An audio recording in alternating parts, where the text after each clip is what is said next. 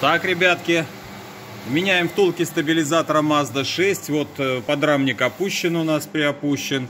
А втулку мы достали с скобой, сейчас вычищаем и устанавливаем на место. Так, ну что у нас тут? Э, втулочки на месте, стоечки на месте. Сейчас мы ставим на место эти треугольники силовые и крепим подрамник, как положено. Так, правая сторона, верхняя шаровая опора верхнего рычага, вот такие вот разрушения пыльника имеет. Так, и что там у нас? И что там у нас? У нас там недра, вон шарик виден. Левая сторона, втулка стабилизатора со скобой при, принаживлены на место. Делаем вторую сторону.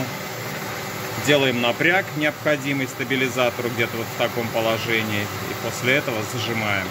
Так, ну и вот такую вещь нашел. Вот так делать категорически нельзя втулки стабилизатора с маской обычной литиевой, так скажем, мазать нельзя. Да и вообще их как бы мазать нельзя.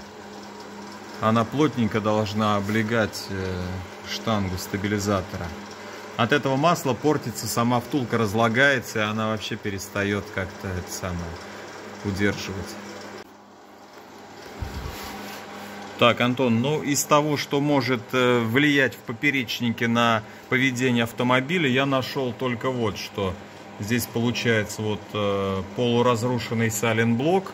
Тяги вроде какие-то свежие. Так, ну вот здесь вот тоже как бы не все фантастично получается с саленблоком. Так, ну и другая сторона в меньшей степени, но чуть-чуть есть смещение, но это, скажем, незначительно. Вот то, что я показал, вот это вот сначала, вот это вот, это четкое разрушение саленблока называется. Как раз по поперечнику.